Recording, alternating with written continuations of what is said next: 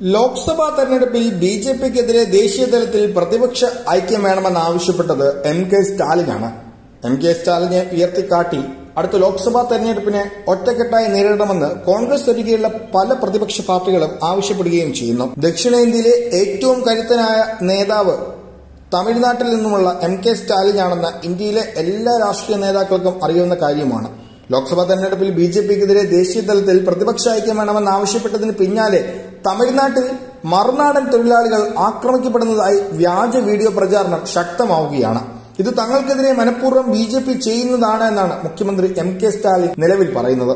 വടക്കേ ഇന്ത്യയിലെ B J P നേതാക്കളാണ് തമിഴ്നാടിനെതിരെ കുപ്രചാരണം നടത്തുന്നതെന്നും പുങ്കളിൽ ഒരുവൻ സംവാദ പരിപാടിയിൽ കഴിഞ്ഞ ദിവസം സ്റ്റാലിൻ പറഞ്ഞു. വിവിധ സംസ്ഥാനങ്ങളിൽ നിന്നുള്ളവർ വർഷങ്ങളായി തമിഴ്നാട്ടിൽ നല്ല നിലയിൽ ജീവിക്കുന്നു. എന്നാൽ കുത്തിത്തിരിപ്പുണ്ടാക്കാനാണ് ബി ജെ പി നേതാക്കൾ ശ്രമിക്കുന്നത്. ഗവർണർ രാഷ്ട്രീയ ഇടപെടൽ നടത്തരുതെന്ന സുപ്രീം കോടതിയുടെ നിലപാട് സംബന്ധിച്ച ചോദ്യത്തിന് ഗവർണർമാർക്ക് വായ മാത്രമേ ഉള്ളൂ ചെവിയില്ല എന്ന് സ്റ്റാലിൻ പരിഹസിക്കുന്നു.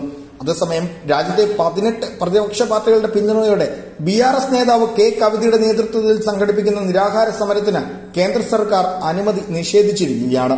വനിതാ സംവരണ ബിൽ പാസ്സാക്കണമെന്നാവശ്യപ്പെട്ട് മാസങ്ങൾക്ക് മുൻപേ ജന്തർ മന്ദറിൽ പ്രഖ്യാപിച്ച സമരം കേന്ദ്ര ഏജൻസികളെ ഉപയോഗിച്ച് പ്രതിപക്ഷ നേതാക്കളെ വേട്ടയാടുന്ന മോദി സർക്കാരിനെതിരായ ഐക്യമുന്നേറ്റമാകുമെന്ന് ഉറപ്പായതോടെയാണ് ഈ നടപടി. എൻഫോഴ്സ്മെന്റ് ഡയറക്ടറേറ്റ് കവിതയ്ക്ക് ഡൽഹി മദ്യനയവുമായി ബന്ധപ്പെട്ട കേസിൽ മൊഴി നൽകാൻ വ്യാഴാഴ്ച ഹാജരാകാൻ സമൻസ് നൽകിയിരുന്നു. ഭീഷണിക്ക് മുന്നിൽ വഴങ്ങാൻ കൂട്ടാക്കില്ലെന്നും പ്രക്ഷോഭവുമായി മുന്നോട്ട് പോകുമെന്നും കവിത പ്രഖ്യാപിച്ചു. ശനിയാഴ്ച ഹാജരാകാമെന്നും അവർ ഇ ഡി അറിയിച്ചു. പിന്നാലെ പ്രക്ഷോഭത്തിന് ജന്തർ മന്ദറിൽ സ്ഥലം അനുവദിക്കില്ലെന്ന് ഡൽഹി പോലീസ് അറിയിച്ചു.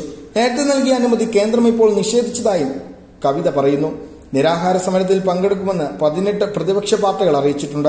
C P I M C P I Aam Aadmi Trinamool Congress N C P Shiv Sena Uddhav Thackeray പക്ഷം Akali Dal J D U R J D Samajwadi party National Conference J M M തുടങ്ങിയ പാർട്ടികളുടെ പ്രതിനിധികളും പ്രവർത്തകരും സ്വതന്ത്ര M L എമാരും സമരത്തിൽ അണിനിരക്കും. അന്വേഷണ ഏജൻസികളെ മോദി സർക്കാർ രാഷ്ട്രീയ ആയുധമാക്കുന്നതിനെതിരെ പ്രതിപക്ഷ പാർട്ടികൾ സമരമുഖത്താണ്. ആം ആദ്മി നേതാവ് മനീഷ് സിസോദിയയുടെ അറസ്റ്റിൽ ശക്തമായ ഭാഷയിൽ അപലപിച്ച് പ്രതിപക്ഷം പ്രധാനമന്ത്രിക്ക് കത്ത് നൽകിയിരുന്നു. ഇതിന് പിന്നാലെയാണ് തെലങ്കാന മുഖ്യമന്ത്രി കെ ചന്ദ്രശേഖര റാവുവിന്റെ മകൾ കവിതയ്ക്കും ഇ ഡി സമൻസ് അയച്ചത്. ഡിസംബറിൽ തെലങ്കാനയിൽ തെരഞ്ഞെടുപ്പ് നടക്കുന്നതിന് മുന്നോടിയായിട്ടാണ് ഇഡി ചോദ്യം ചെയ്യാൻ വിളിപ്പിച്ചതെന്ന് കവിത മാധ്യമങ്ങളോട് പറഞ്ഞു. തെരഞ്ഞെടുപ്പ് നടക്കുന്ന സംസ്ഥാനങ്ങളിൽ മോദിയേക്കാൾ നേരത്തെ ഇ ഡി എത്തും. അന്വേഷണവുമായി സഹകരിക്കും. ഇ ഡി ഉദ്യോഗസ്ഥർക്ക് വീട്ടിലെത്തി മൊഴിയെടുക്കാമെന്നാണ് ആദ്യം അറിയിച്ചത്. പിന്നീട് തിടുക്കത്തിൽ ഓഫീസിൽ ഹാജരാകണമെന്ന് ഉദ്യോഗസ്ഥർ ആവശ്യപ്പെടുകയായിരുന്നു.